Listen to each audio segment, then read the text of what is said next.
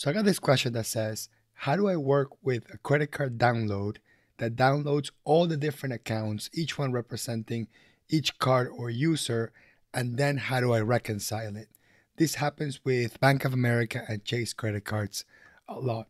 So I'm going to answer that question by connecting my QuickBooks Online into uh, a Chase credit card.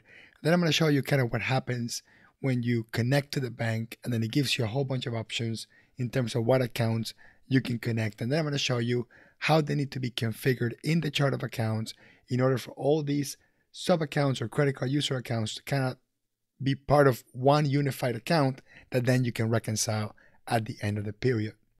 So I'm going to go into banking and then click on connect account. Then I'm going to choose my company that I'm going to connect to. So I'm going to click on Chase.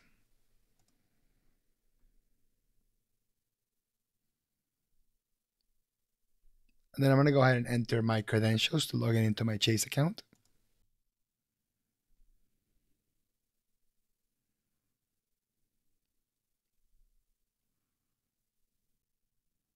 So once I connect to my bank, it's going to give me all the accounts or all the sub accounts that are going to be associated with this one account that has multiple users uh, that we're going to download into QuickBooks. So you, as you see on the screen, these are all individual credit cards inside of my overall credit card account that each represents a different physical card and or a different user using the cards. So I actually have to connect all of them into QuickBooks and then I kind of have to put them together as one unified account. So I'm going to go ahead and select all of them and I'm going to go and create an account for each one of them. So I'm going to click on the drop down menu where it says enter account type and then I'm going to click on add new. So first I want to create a credit card account and then I'm going to call this one Chase Card. This is going to be like the parent account. So I created an account called Chase Card and then click on Save and Close. Now I have to go one step further and create a sub account under Chase Card. So in this case, I'm going to go to Add New and then I'm going to call this one Hector 4660. So I'm typically going to use the name of the user of the credit card so I know as an accountant uh, who, who's the individual user of the card. And that might be, give me some context in terms of the category or the type of expenditure. So I put the name of the user and then I put the last four digits. Then I'm going to click on click is sub account off and then I want to make sure I select Chase card. Now under account type, this needs to be a credit card type. So it's a credit card type, call this one Hector 4660 and then it's a sub account of Chase card. Perfect. So now I'm to click on save and close. And now notice that this Hector 4660 is a sub account of Chase card. So I'm to go to the next one. Go to add new. Select account type credit card. Put the name of the user and the last four digits of the card. Then click on sub account off and then select the Chase card as the parent account. Then click on Save and Close. Then I'm to go to the next one. Go to Add New. Change this to credit card. The name of the user. The last four digits of the account. Is sub account off. And select Chase card. Save and Close. Go to the next one. Add New make it a credit card, name of the user, dot last four digits of the account, is sub account off, select the parent account, save and close, and the last one here, add new credit card account type, name of the user, is sub account off, and then make it a sub account of the Chase card. Then click Save and Close. So now that all the sub accounts now have their own specific sub accounts and now and they're connected into QuickBooks and they're connected to a chart of accounts, then I can pick how far back I want to go in terms of the download. Now, depending depending on what you're trying to do, this might get a little bit tricky. So if you're only trying to go back the last working month, the idea is that you physically take the credit card statement, the last credit card statement you have in your hand, that will have a beginning balance and you're going to pick that to be the start date. Now, if you want to go back far, like a year or two years, that's all going to be based on what the bank allows you to download. So in some cases, you'll have a limitation of 90 days. In some cases, you can go up to two years depending on the bank. So just for the sake of exercise, I'm actually going to pull up my most recent statement from the bank, and then I'm just going to bring the last working month.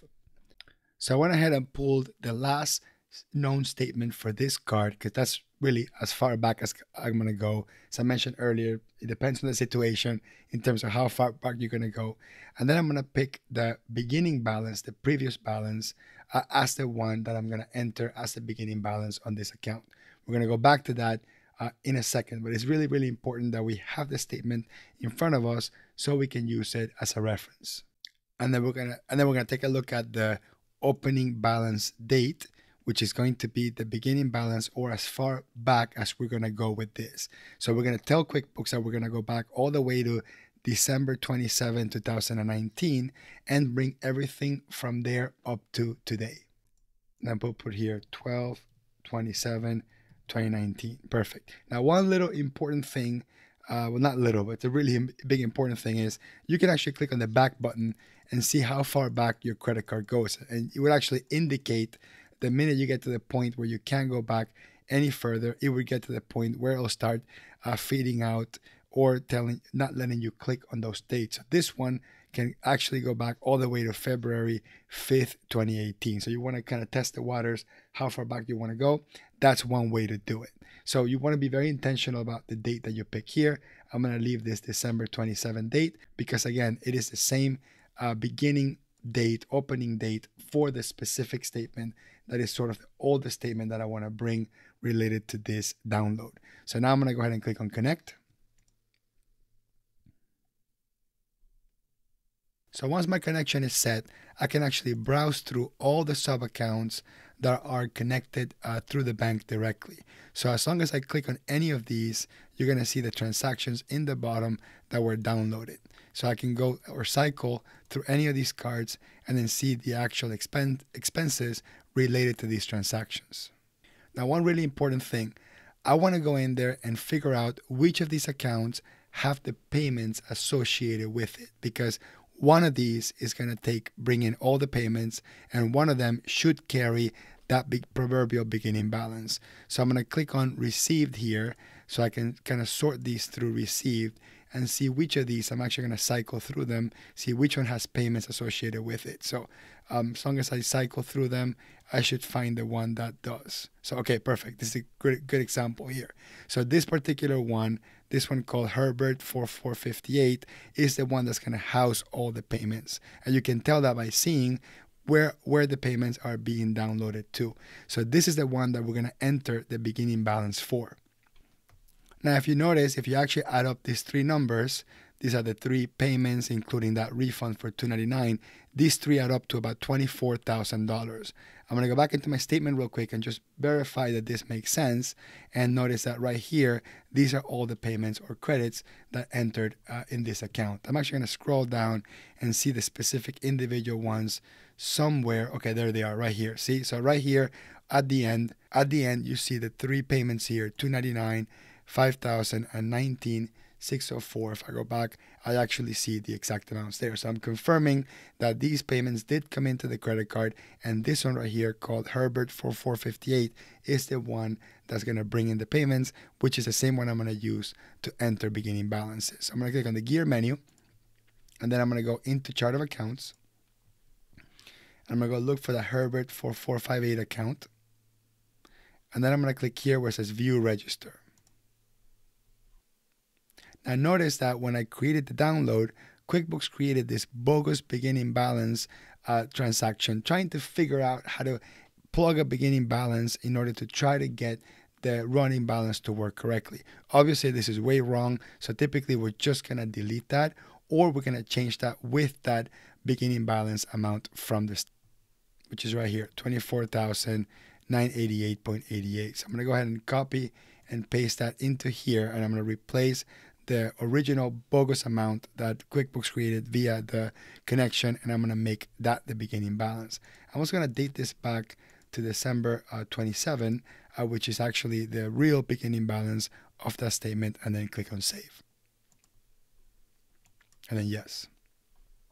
So now I'm gonna go back to my chart of accounts and I have to do the same thing for each of these sub accounts. So I'm gonna go to the view register of this sub account and take this beginning balance transaction, delete it, get rid of it, go back. Let's take a look at the second card, go to view register, look at this beginning balance, delete it, gone. Back to credit card. Let's look at the next account that has a weird beginning balance there. Grab it and delete it. And let's go back to the chart of accounts and there should be, oh, no more. That's it. Perfect. So I should only have one account that has a beginning balance, which is the one where the payments are being registered into, which this is sort of the default account.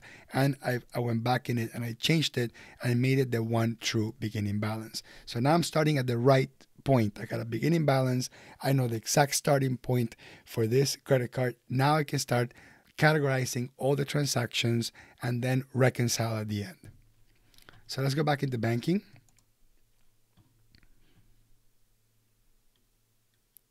And then I'm going to go ahead and go in and categorize each of these uh, transactions. Now, check in the description below an entirely different video where I explain how to categorize transactions. So I'm going to do this really, really quick just so we can get to the point that we can actually reconcile the bank.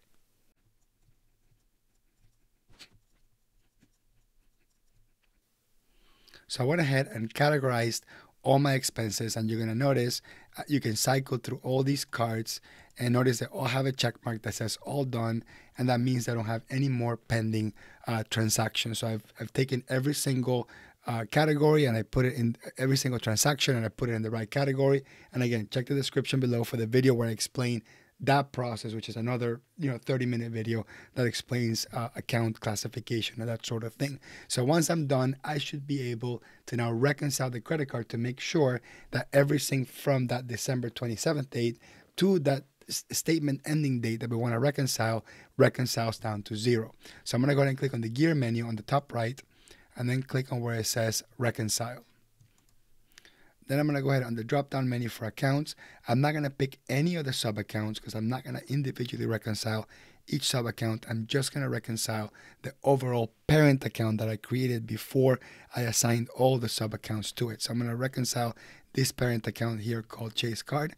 And you will notice that the beginning balance, the one that I modified when I went into the register and I put it to match the exact uh, credit card statement it's going to show up here and that's exactly where I want to be at the beginning starting point. So then I'm going to go pull up my actual credit card statement and then I'm going to go to new balance and this is the number that I want to reconcile. It's 15,005.37. It's now I want to reconcile that in QuickBooks there's specifically that asset running balance of this credit card up to the point that I'm going to reconcile, which in this case is January 26.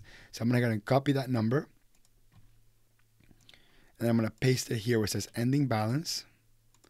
And then under ending date, here's when I pick January 26. Let's just double check that that's correct. Yes, January 26 is the ending date for that statement. And then I'm going to click on start reconciling.